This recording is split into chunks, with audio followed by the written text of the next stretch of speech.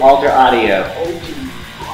This is Blitz, bringing you everything that you guys probably don't want to hear, but we're giving it to you anyway. Thank you for hitting play. The voice for the counterculture. Or maybe a voice against it. I don't know. Are we technically part of counterculture or are we a counter to the counterculture? Maybe we're just another influence, like if we want to. We are from a parallel dimension somewhere where we actually make sense, but you know what? Somehow we're bringing some form of reality to you. That's Pearland if you guys want to Google it. 2000, 2000. year 11. Year 11. What's the actual, uh, you know, you know, the Chinese year?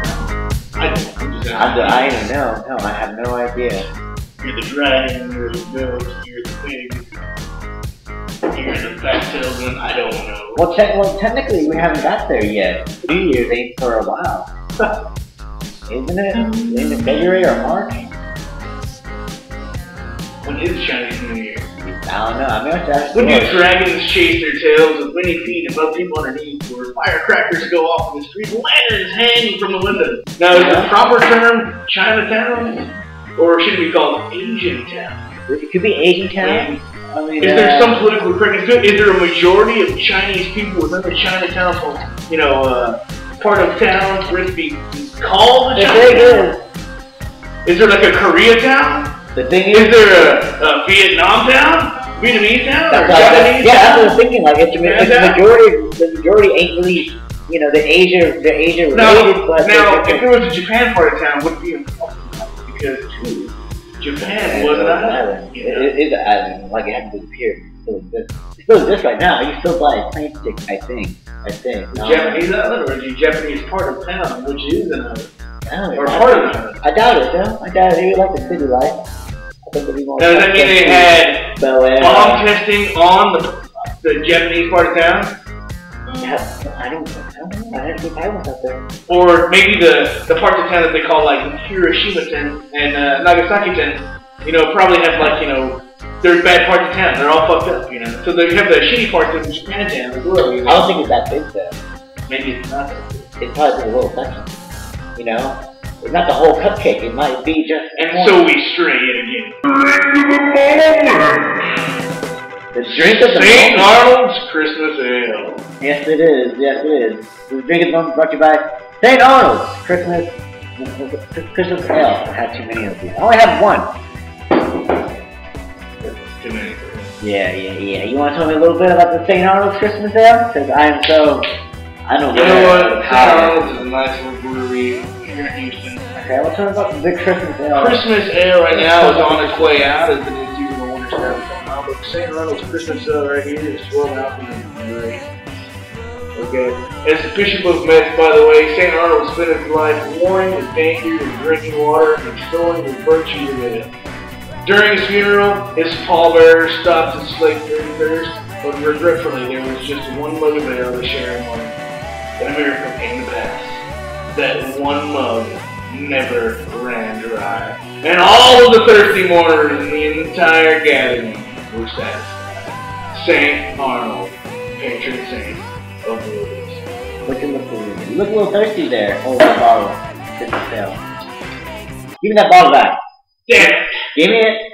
No, no, let, let no. go. Let it go. Just a taste. We're not gonna fight. wait. We're not gonna fight you this time. I'm not gonna do that. Okay. I'll refuse. I refuse to stab you today. Well, I have to. We I will.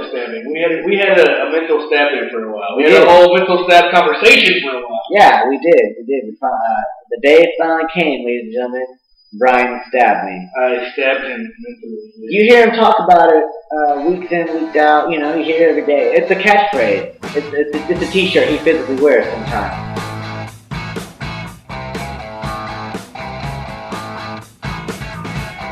So now it's time for a little thing I like to call Reel. reel review.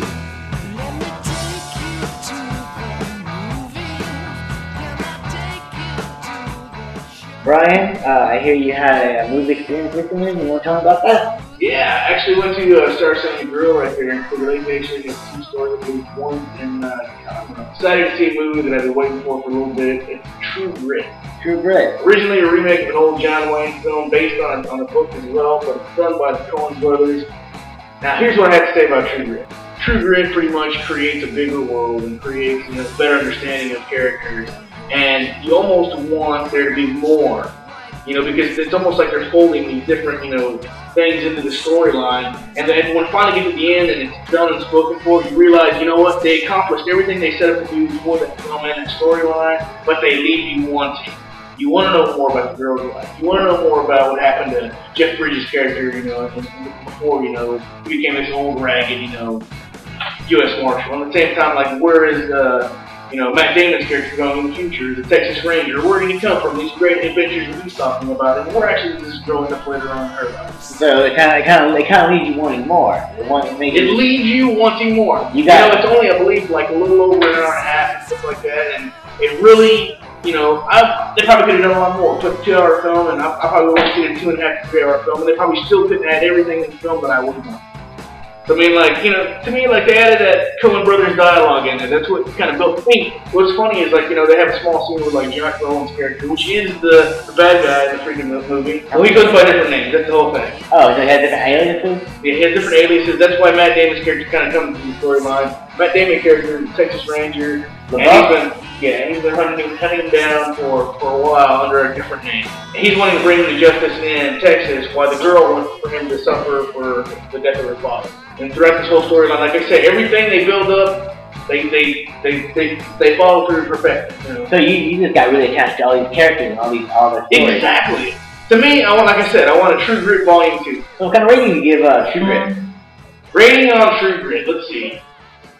Three A pluses and a B. Well, uh, I also watched the movie today, an old school movie actually. Uh, I was at home on the Netflix. And now he's watching Netflix. What does he do? He goes to a nice little search. Or actually, what was years ago? Why don't you tell the story? Oh, okay.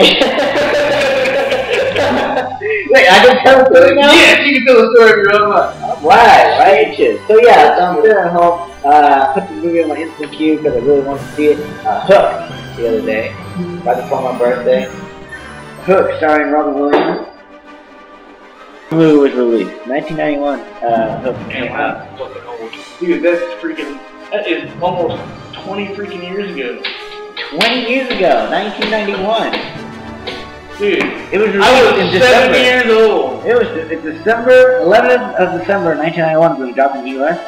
1991. I was uh I was, I was still shitting my I was still pissing my bed. Actually, I was Dude, pissing you my were bed four till years old, man. Yeah I was pissing my bed and I probably never stopped my bed till I was 10. I was. I was like, I was like, you have like a whole other decade of kissing that. Yeah, I'd probably say more around 16. yeah. Beautiful lady and the wonderful Julia Roberts who played Barry. That that like I just like just watching Tinkerbell doing her thing. Julia Like, Roberts does have beautiful legs. Yeah, but anyways, yeah, beautiful lady Julia Roberts as Tinkerbell. Kind uh, of, kind of gave me like a mini boner. Moving on, Robin That's what they Williams. but you know what the interesting thing was? Peter, Peter Pan. In the beginning of the movie, he's this high business Douche. Yeah, he's a douche in the beginning of the movie. Peter a- Pan becomes a, what happens when you take the boy out of Peter Pan?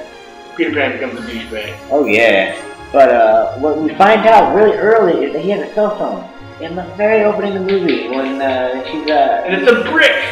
Oh yeah, it's a big brick. It is a big brick. You know, like our digital cameras are. are Oh, it's a fucking brick. it's a brick. It's not an 80s brick, but it's a brick. When you find Remember clamshell freaking uh, cell phones? Remember clamshells? yeah, Clamshells are big. Okay, not the not the like the big clam, like the small clamshells that we had like later on. Down there. Yeah. Like, oh, hey, look at my. yeah, no. I'm no. talking like. Uh, wasn't amazing. I mean, check. I mean, check it out. If you guys- Pen red, pen